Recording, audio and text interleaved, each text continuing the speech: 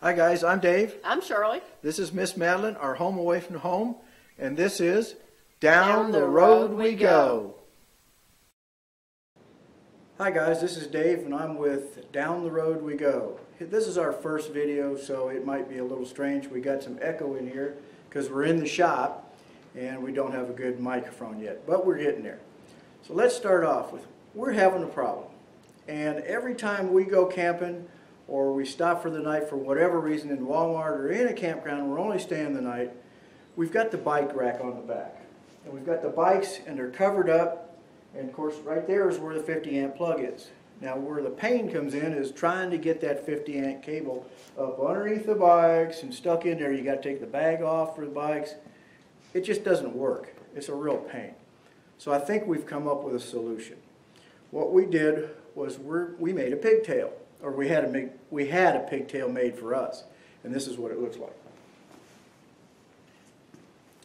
It's about a four foot pigtail.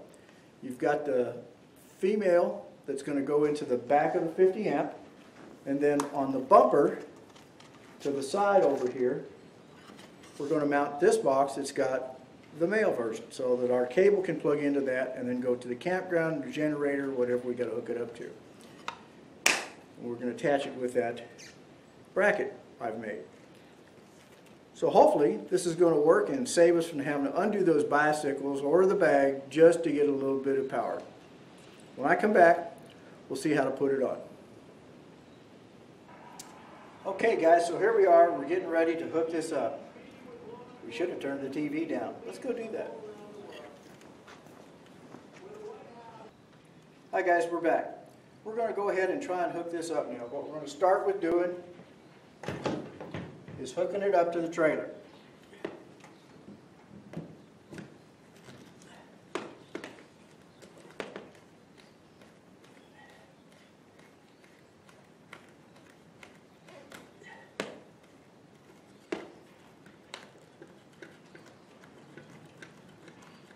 Okay, the hard part is always getting that screwed in there real good.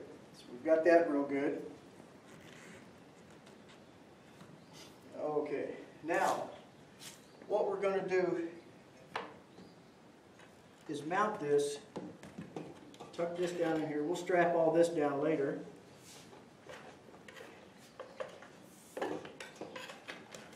What we're going to do is we're going to end up mounting it right there.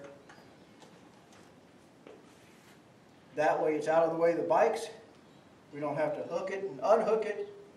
It's also ready to go. So we'll go ahead and drill some holes and we'll go ahead and mount this and we'll be back. Okay everyone, we've got it hooked up. We've got the 50 amp connector in the back of the trailer. We've got the uh, mount mounted on the black pipe and we've got the shore power hooked up to it to make sure everything works. We've turned it on. Everything's correctly wired. It's all working. Nothing's burning, which is a good thing. And in case you wonder what that black tube is, that's where we put our sewer pipe. Uh, so if you need some information about that and how to make it, just uh, you know, leave a message and we'll get back to you as soon as we can. Uh, the next step at the end of this video will be a, a, screen grab to show you where to go get stuff. Now you can get it at eBay or you can get it at your local uh, RV dealer, either one. Uh, eBay's a little bit cheaper, but you know if you don't want to wait, you can go ahead and just go to the RV dealer and get it. You also need a piece of 50 amp cable for the wire and have an electrician hook it up for you is the best thing to do. I hope you enjoyed the video and if you liked it, give us a thumbs up. Uh, and please subscribe to us. If you don't like it, well, give us a thumb down, but you know, leave us a message and let us know what you didn't like about the video so we can improve them uh, when we make the next one.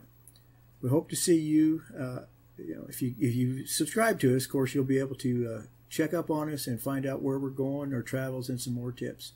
So we hope you have a good day and enjoyed the video. Down the road we go.